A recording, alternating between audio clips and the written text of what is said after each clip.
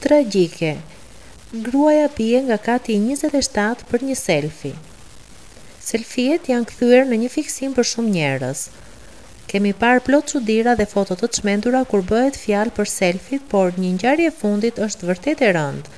Bëhet fjalë për një vajzë portugeze e cila po përpiqej që të bënte një selfi nga kati i njëzet e shtatë i një pallati në Panama, por ka humbur ekuilibrin dhe ka rënë nga aty. Ky aksident rezultoi fatal për të, pasi humbi jetën direkt.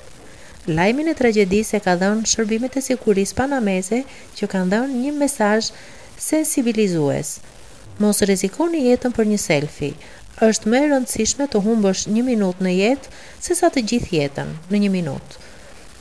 Një mik portugez i viktimës shkruan, Kjo grua ishte mikesha ime më e dashur dhe ishte nëna e dy fëmijëve.